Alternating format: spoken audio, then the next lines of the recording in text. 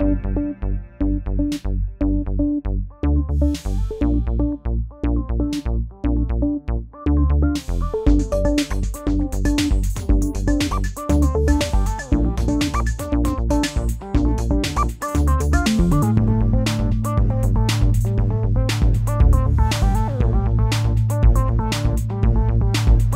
are in the business of what the sense of sound is, and fragrances are about the sense of smell. And so there's something unbelievably magical about trying to marry those two. Especially magical when you have an unbelievable fragrance like Aramis Black.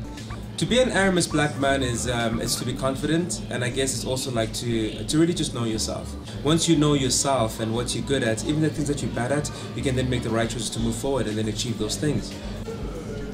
Aramis Black for me smells like poise, smells like comfort, accession. You know your stand. You have a position in life. In whatever circumstances you're thrown into, you find your position, you find you're comfortable.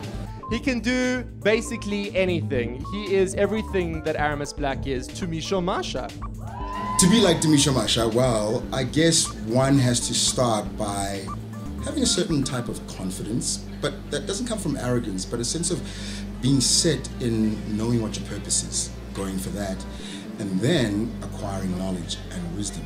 Uh, tonight we have some people that have won a competition to come to this very intimate performance. Let's say hello real quick to Enzo, Muliboheng, Louise, Nsika, Danielle, Prudence, Eugene, and Susanna. Uh, if you are here, come collect your fantastic prize. In 1964, Aramis was born. And 51 years later, we are incredibly proud that this brand is one of the most loyally followed brand for the sleek, seductive man. Someone who walks into the room and makes all the ladies' jaws drop. What better way to showcase the 2015 gentleman? Thanks, guys. Enjoy the evening.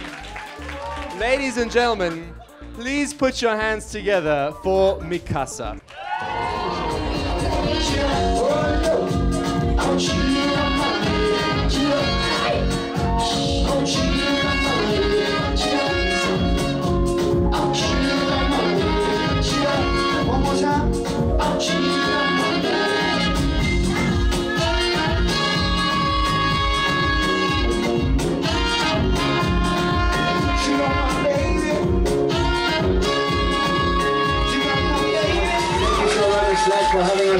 And uh, yeah, God bless you. Thank you.